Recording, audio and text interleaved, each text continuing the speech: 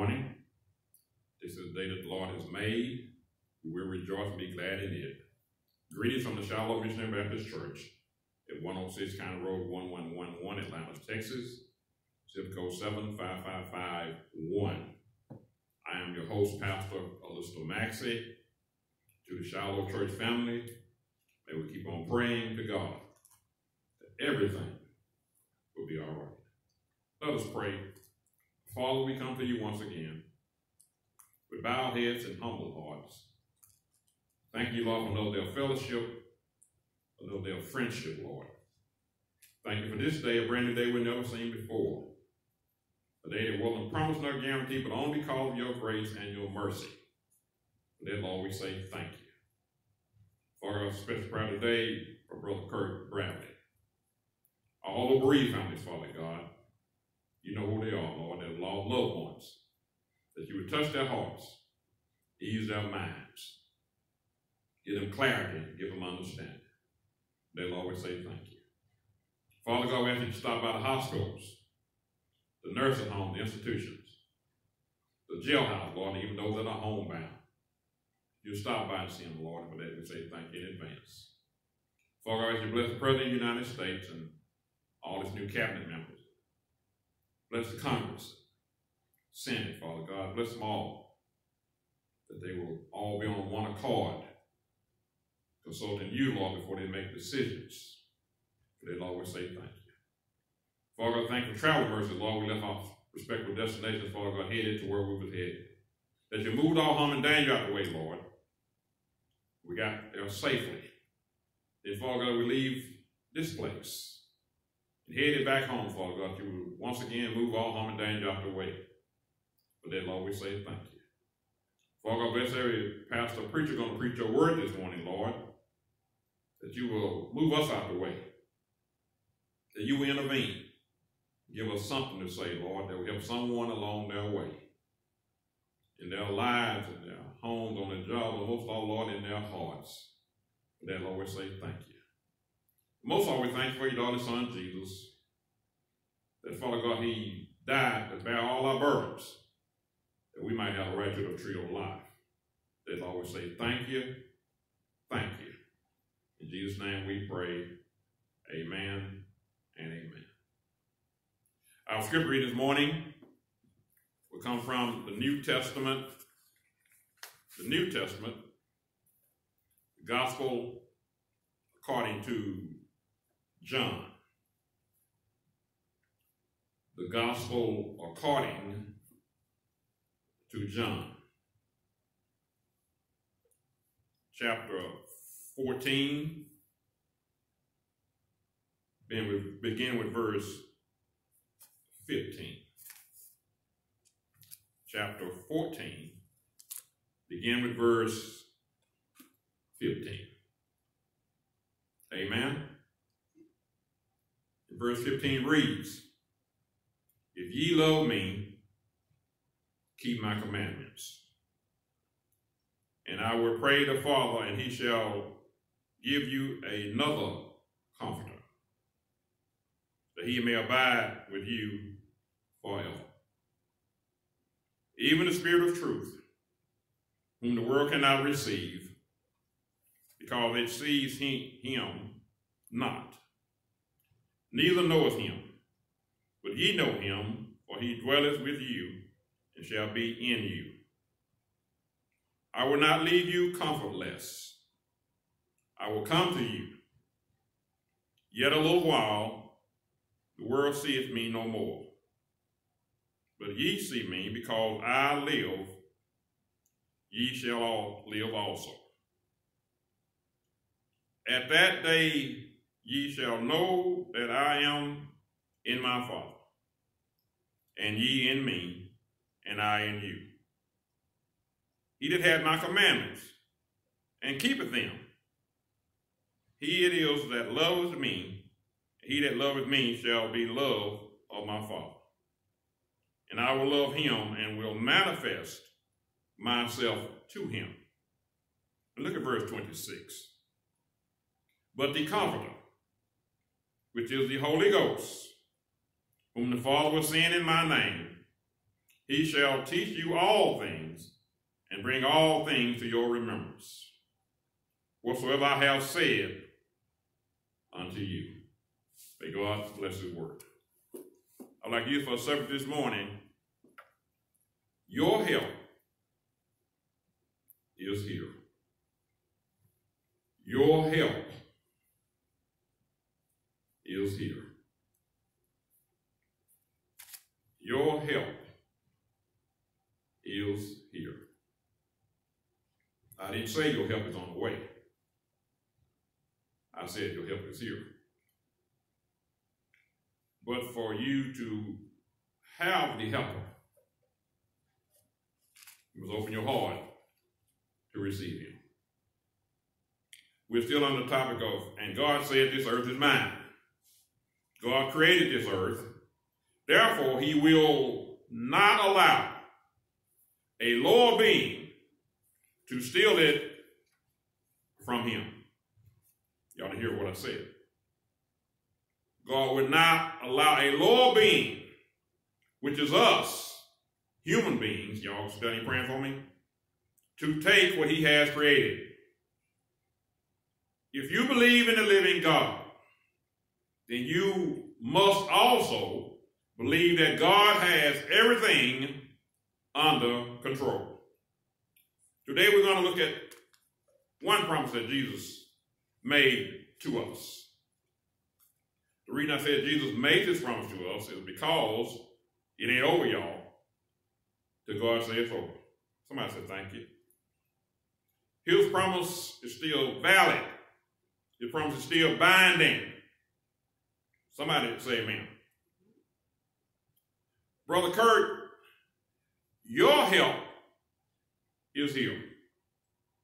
The Holy Spirit plays a significant role in the life of the believer.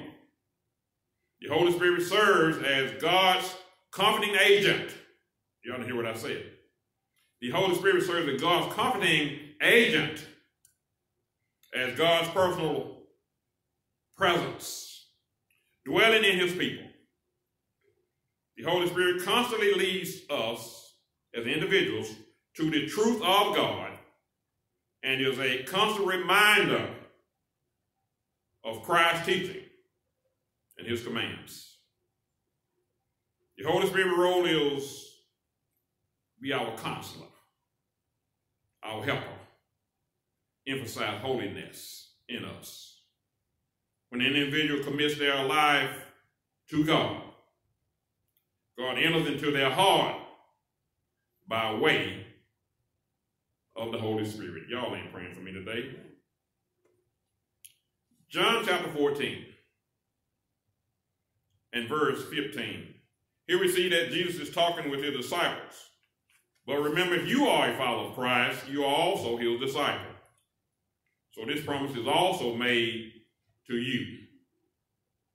Jesus promises us another helper. Verse 15 reads, If you love me, keep my commandment. Verse 16 says, And I will pray the Father, and he will give you another helper, a comforter, that he may abide with you forever.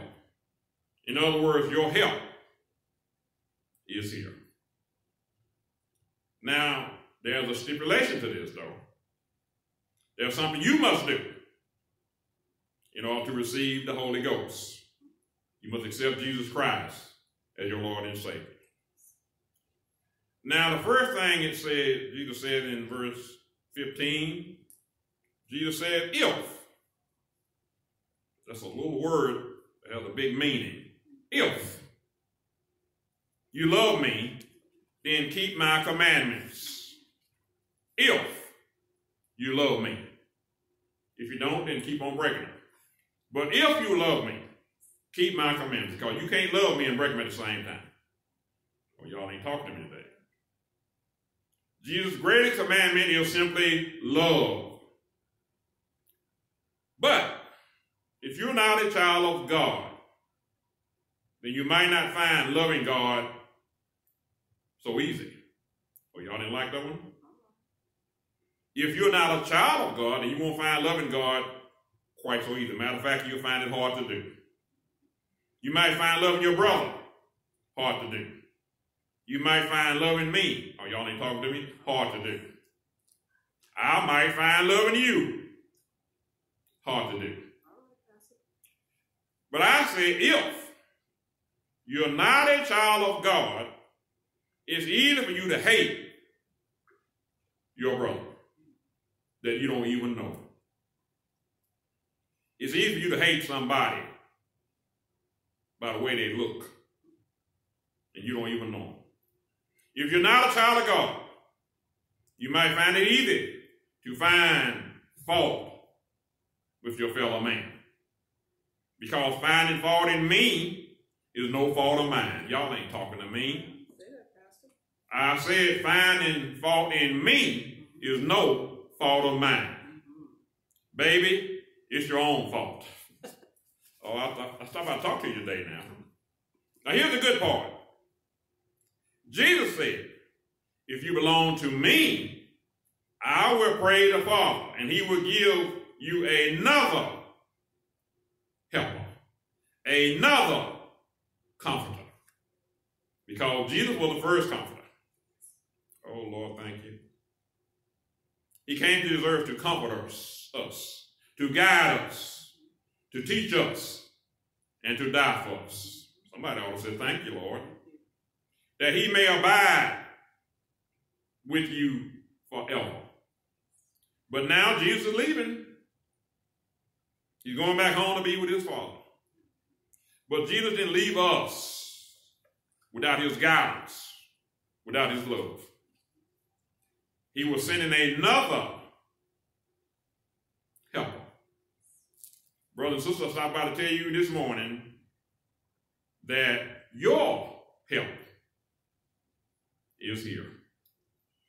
I said, your help is here. I don't mean in this building. I mean, your help should be, if you accept Jesus Christ, in your heart. So now you saying, well, the Holy Spirit don't talk to me. Well, baby, you're telling me something. If he don't talk to you, then he's not in your heart.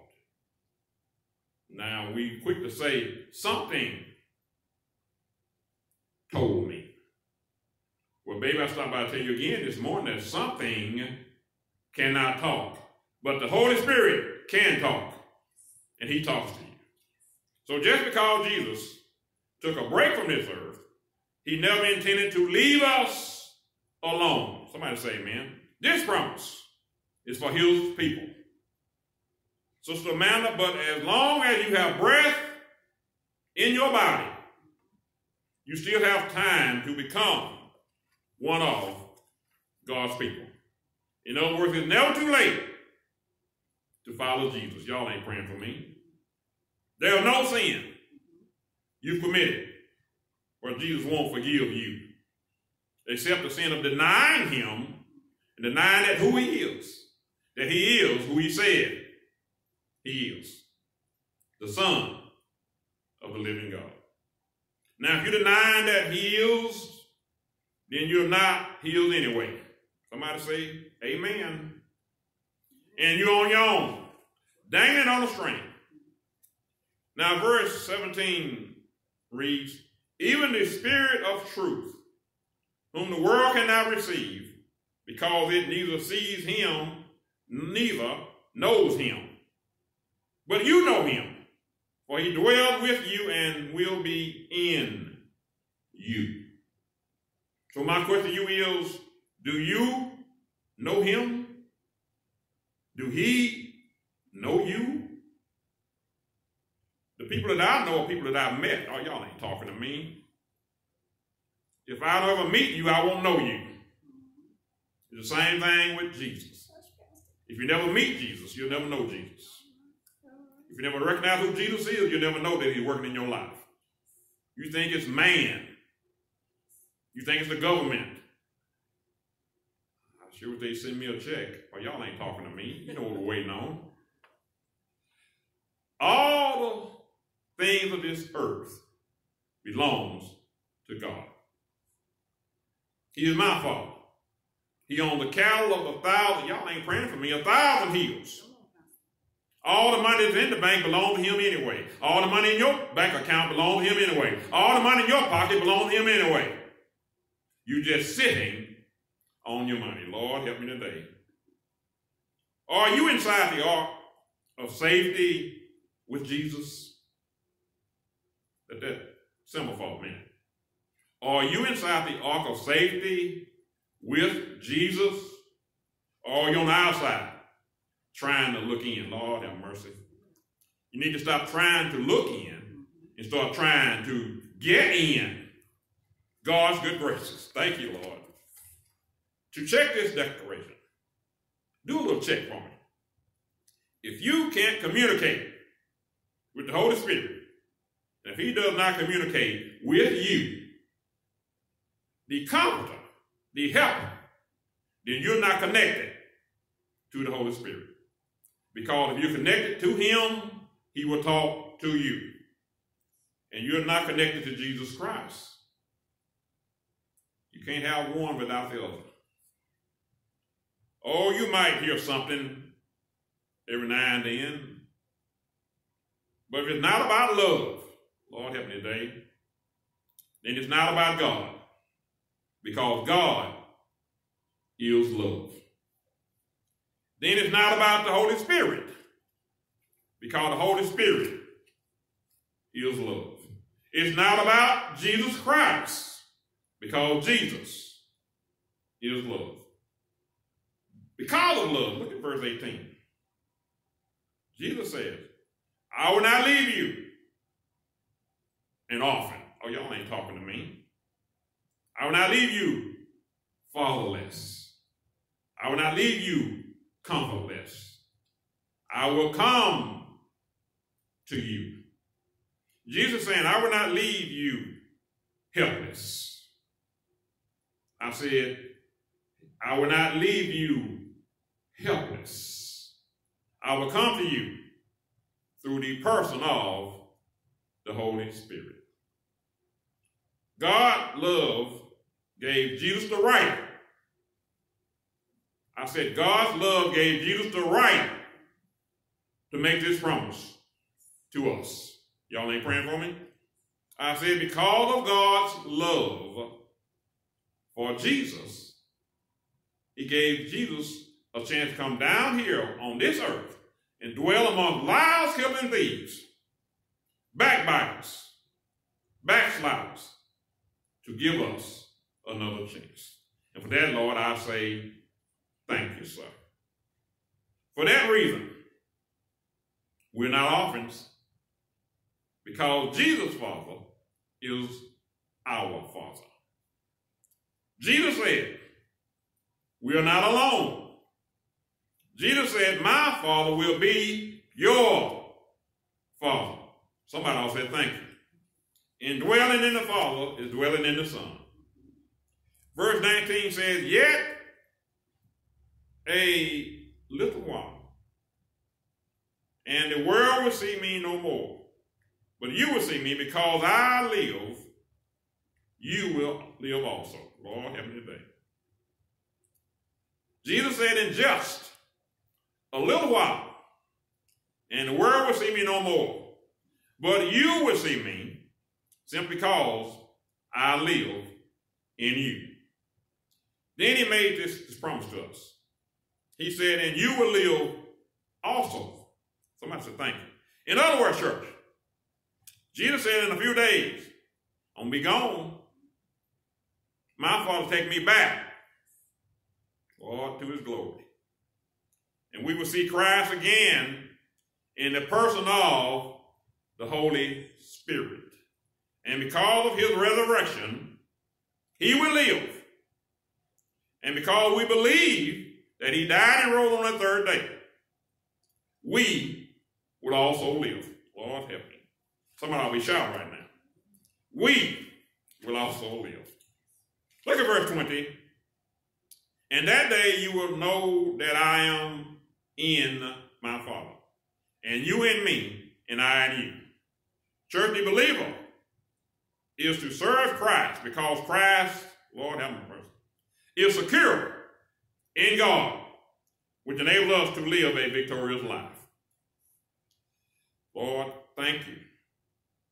21, he said, He who has my commandments and keep them, it is he who loves me. And he who loves me will also be loved by my Father. But the benefit of knowing Jesus Christ is the basking in his love, is the basking in his glory. You said, I will love him and manifest myself. I said, manifest myself in him. Manifest myself to him. Baby, I have Jesus manifest in your life. You have the love of God working on your behalf.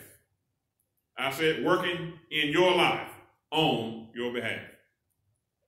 Because if you're still running scared and fearful, then you have not allowed Jesus full access to your heart.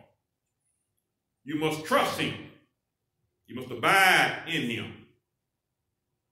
Verse 22 says, Judah said to him, Lord, how is it that you would manifest yourself to us and not to the world? Y'all the answer this, right? I said, you the answer this, right? Well, look at verse 23. Jesus answered said to him, If anyone loves me, he will keep my word. And my Father will love him for it. And we will come to him and make our home with him. Jesus' word is simply the Bible. Brothers and sisters, open your Bible and see what great things, oh help me, that Jesus has in store for you. I said, open your Bible, baby. See what great things that you've been missing. Open your Bible and see that Jesus has something great in store for you. Verse 24 says, He who does not, hear me good, he who does not love me, other you can't lie and say you keep my commandments. He who does not know me does not keep my words. And the words which he hear is not mine, but the Father who sent me. You know what Jesus said? Don't, don't listen to what I'm saying. This is what God's saying. Verse 24 tells us what's wrong with the world today. He who does not love me does not keep my word. It's just that simple. We all we need Jesus. And Jesus needs us to depend on him. The entire world needs Jesus. Because it's our job as believers to help Jesus convince the world that we still need him. Because the gift, Lord help me today, of his peace is knowing that we need him. Look at verse 25. Jesus said, These things I have spoken to you while being present with you. But the helper, the counselor, the Holy Spirit, whom the Father will send in my name, he will teach you all things and bring to your remembrance all things that I have said to you. America, the Holy Spirit is still here. Oh, Lord, help me today. He's still waiting for you to make a connection with him. Because Jesus said, peace, I leave with you. I'm talking about sanctifying peace. My peace I give to you. The peace of God. Not as the world gives, do I give to you. Because the peace the world gives is on the surface. But the peace that God gives is in the heart. Y'all ain't praying for me. I said the peace that God gives is in the heart. So let not your heart be troubled, neither let it be afraid, because your help is here. For the Father, the Son, and the Holy Ghost is still in control not only of my life, but also in your life. That's why Jesus died for us all with three nails and a cross. And he hung there, bled, and he died. And he allowed us to be buried in Joseph's brand new borrowed tomb. And it's borrowed because he wasn't going to need it long. And he lay there all Friday evening and all Friday night. He lay there all day, Saturday and all Saturday night. But early Sunday morning, he rose with all power and I thank God he rose, and I thank God for Jesus. And I thank God for the Holy Ghost. Brothers and sisters, your help is here. If you receive him. Amen. Amen. The door of the church open. Would there be one today is when it comes to Jesus Christ as your Lord and Savior. Would there be one? He loves you. He's been waiting for you if you just come. But please don't wait for time that's not on your side. Amen? If you need me, just call me. My number's on the website.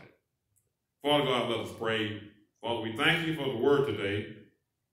We thank you that you pricked somebody's heart, somebody's mind, that they open their arms and receive you into their heart. Father, we thank you once again for traveling mercy, Lord. We leave this place and never from your presence. Father God, we have special prayer once again for Brother Kurt Bradley and all the family that lost loved ones, Father God, just this past week, that you'll touch their hearts. Touch Sister Rita, Father God. Give her strength. Give her guidance. Father God, we thank you in advance you're going to do in her life.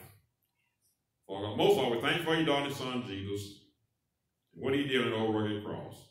That he bare all our burdens, Lord, that we might have a right to the tree of life. For that, Lord, we say thank you and thank you. In Jesus' name we pray. Amen and amen. May God bless you. and May God keep you. Is my prayer today, son.